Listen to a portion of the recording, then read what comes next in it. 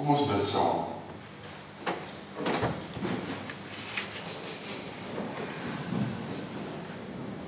Hemelse Vader, ons het nie altyd woorde nie. Ons weet nie altyd hoe om te sê en te doen nie.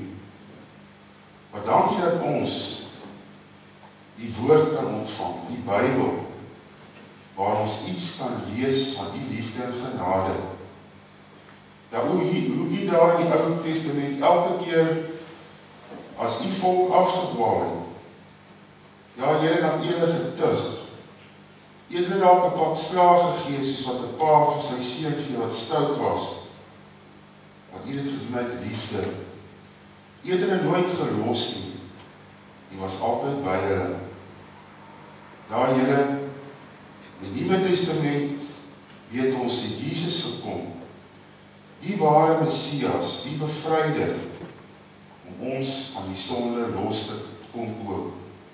So lief het U ons gehad. Help ons dan Here om dit te gaan leef. En help ons Here om dit ook aan ander mense te kan verkondig. Ja Here, daar waar ons so dikwels met ander beklei al ons verskille wat ons het, help ons Here om eerder hulle in U naam te seën.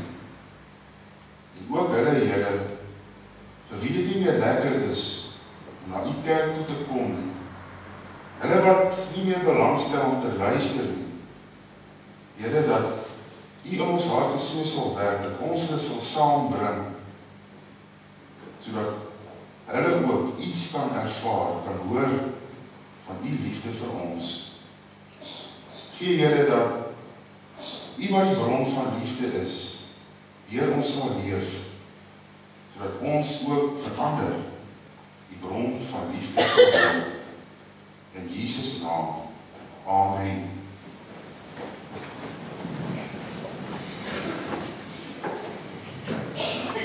Wat sê ons nou? Kom ons kyk nou. Psalm 524. Moet ons sing Psalm 524. God roep ons om met woord en daad rond te leef en werk.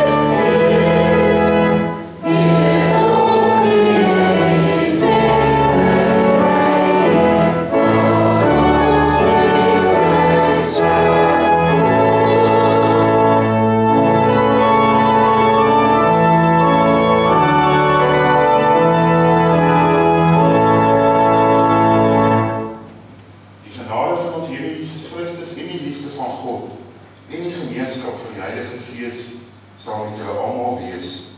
Amen.